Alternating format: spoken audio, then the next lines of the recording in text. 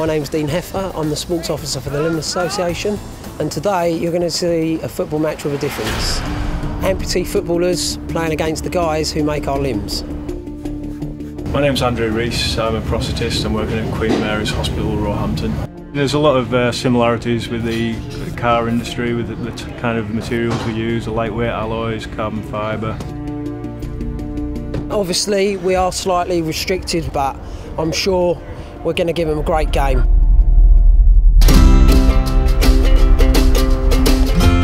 Are they young or old? Well, well they're, they're quite young actually. They're, they're well up ah. for it though. The way we played last week, the way we passed it, pass, move, pass, move, and keep our shape, keep our 3 3 1. Yeah. It's important. If, if, if we lose, then in a way it reflects badly on them, doesn't it? Don't talk about losing. We No, no, no, but, but it's their fault because they haven't supplied us with good enough legs.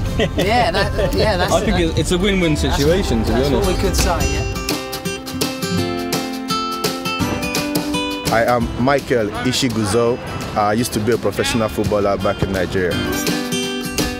I lost my leg playing football. I had a fracture in the match, but it was not properly treated. So there was nothing the doctors could do but to, to amputate the part that was infected. To be honest with you, the quality is, is top notch. But the way they run, the way they control the ball, the way they pass the ball is just so phenomenal. I'm James Catchpole. I organise the London Amps, which is the North London amputee football team. We're doing something very abnormal. We're showing that you can play football on one leg and actually be as good or better than able-bodied people. First lost my leg when I was eight, I, you know, when something like that happens to you, you think you're going to be in a wheelchair for the rest of your life. And playing football is my life, and I just want others to get and do what I've done.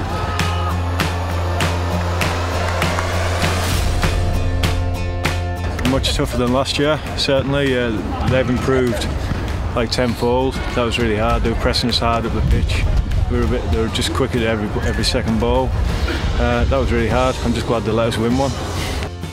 Really hard work, but we've done it. All the boys, we all played brilliant and great team performance. Uh, I'm so pleased. It's fantastic.